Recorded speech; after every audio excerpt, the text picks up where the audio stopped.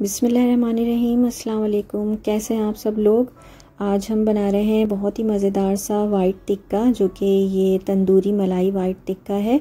बहुत ही आसानी से बन जाता है तो चलें बनाना शुरू करते हैं। इसके लिए सबसे पहले मैंने अदरक लहसुन का पेस्ट लिया है, एक टेबल स्पून भरकर। और दही हम यहाँ पर ले लेंगे। क्वार्टर कप के करीब। ये काफ़ी थिक योगर्ट है। पानी आप देख सकते हैं, इसमें नहीं है। फिर मैंने यहाँ पर बेसन शामिल किया है। इसको ड्राई रोस्ट कर लिया है और एक टेबल स्पून बेसन शामिल किया है। साथ ही छोटी वाली जो हरी मिर्चें होती हैं, उनका पेस्ट शामिल किया है एक टीस्पून भरकर और लेमन जूस एक टेबल स्पून शामिल किया है। इसके अलावा मैंने यहाँ पर कसूरी मेथी थी, जिसको ड्राई रोस्ट किया था, बिल्कुल हल्का सा और हाथ से क्रश करके शामिल की है। ये भी एक टीस्पून है। साथ ही मैंने यहाँ पर ज़ीरा ले लिया है, आधा टीस्पून और गरम मसाला पाउडर भी, आधा टीस्पून है हमारे पास। नमक हम हसबे जायका लेंगे। एक टीस्पून के करीब मैंने लिया है और काली मिर्चें क्रश करके शामिल किए हैं। अंदाजे से ये भी आधा टीस्पून के करीब शामिल किए हैं मैंने। इसके अलावा हमारे पास यहाँ पर काजू थे, जो कि मैंने पीस कर रखे थे।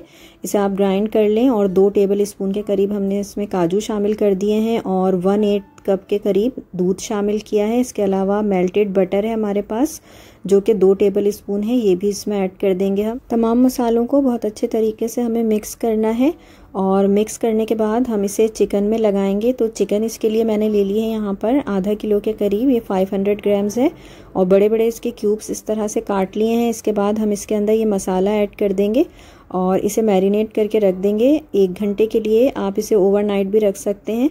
जितनी ज़्यादा देर इसे रखेंगे, ये मसाले उतने ही अच्छे तरीके से चिकन में जज्ब हो जाते हैं और चिकन बहुत ही मज़ेदार बनती है। तो इसको मैंने इसमें चिकन में ऐड करके और मिक्स कर दिया है। इसको अब मैं क्लीन शीट से कवर करके एक घंटे के लिए रेफ्रिजरेटर में रख दूँगी।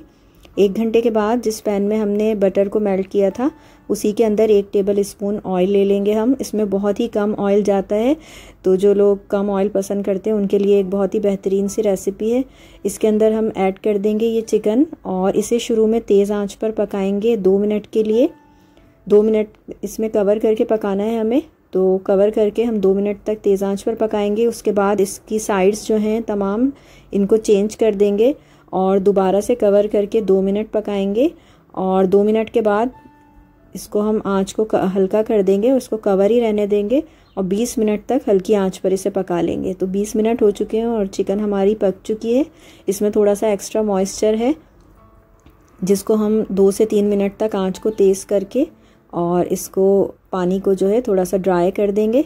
और जब ये पानी थोड़ा सा ड्राई हो जाएगा दो से तीन मिनट के बाद तो आँच इसकी दोबारा से मैंने बिल्कुल कम कर दी है और इस टाइम हम इसको स्मोकी फ्लेवर देंगे ताकि इसमें बहुत अच्छा सा बारबेक्यू फ्लेवर आ जाए। तो यहाँ पर मैंने एक कोयले को जला लिया था, उसे अंदर रख दिया इस तरह एलुमिनियम फॉयल के एक बॉल सी बना ली है। इसके ऊपर थोड़ा सा ऑयल ऐड करेंगे और दो से तीन मिनट तक हम इसे कवर करके इसी तरह से छोड़ देंगे। आप चाहें तो थोड़ा सा ज़्यादा देर के लिए भी छोड़ सकते हैं, लेकिन दो से तीन मिनट तक काफ़ी रहता है और आँच को मैंने इस दौरान बिल्कुल लो कर दिया था। आप चाहें तो आँच बंद भी कर सकते हैं। अब दो से तीन मिनट हो चुके हैं तो कोयला हम इसमें से रिमूव कर लेंगे और चूल्हे को बंद कर देंगे।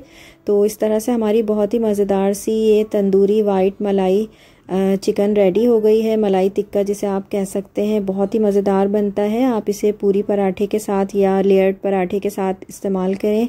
ज़रूर मेरी रेसिपीज़ को ट्राई करके मुझे फ़ीडबैक दिया करें, अगर ये आपको पसंद आती हैं। और लाइक और शेयर भी किया करें।